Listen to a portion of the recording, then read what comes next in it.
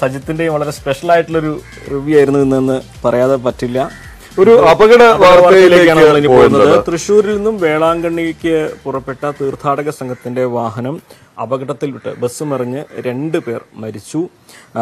കൊല്ലൂർ നെല്ലിക്കുന്ന് സ്വദേശികളായ ഒരു സ്ത്രീയും കുട്ടിയുമാണ് മരിച്ചത്.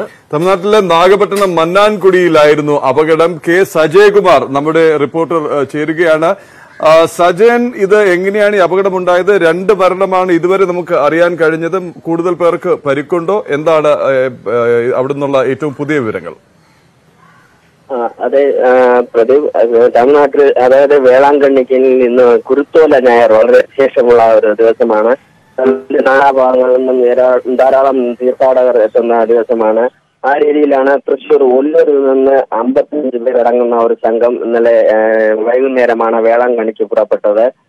വേളാ തമിഴ്നാട് തഞ്ചാവൂരിനടുത്ത് ഉറത്തനാട് സമീപത്താണ് ബസ് ഒരു കുഴിയിലേക്ക് മറിയുകയായിരുന്നു.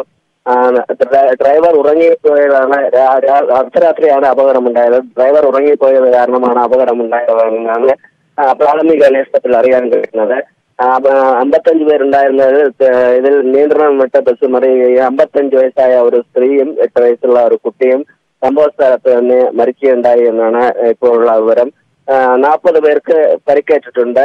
അമ്പത്തൊന്ന് യാത്രക്കാർ യാത്രക്കാരായ അമ്പത്തൊന്ന് പേർ തീർത്ഥാടകരായി ഇതിലുണ്ടായിരുന്നു. ആകെ അമ്പത്തഞ്ച് പേർ സഞ്ചരിച്ച ബസ്സാണ്. ഇവരെ സമീപത്തുള്ള ഗവൺമെന്റ് ആശുപത്രിയിൽ ഇപ്പോൾ തീവ്ര ചികിത്സാ വിഭാഗത്തിലും അതുപോലെ പല വിഭാഗങ്ങളിലായി ഇവർ ചികിത്സയിലാണ്. വളരെ ദുഃഖകരമായ ഒരു വാർത്തയാണ് തമിഴ്നാട്ടിൽ നിന്ന് ഇപ്പോൾ കേരളത്തിൽ നിന്ന് പുറപ്പെട്ട തീർത്ഥാടക സംഘം പറഞ്ഞ് രണ്ടുപേർ മരിച്ച വാർത്തയാണ് നമുക്ക് അറിയാൻ കഴിയുന്നത്.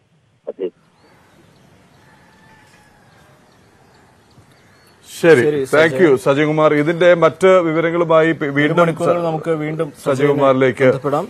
എത്താം. നമുക്കിപ്പോൾ കർണാടകയിലേക്ക് പോകാം. കർണാടകയിൽ തെരഞ്ഞെടുപ്പ് ഒരുക്കം. കന്നഡ ജനമന.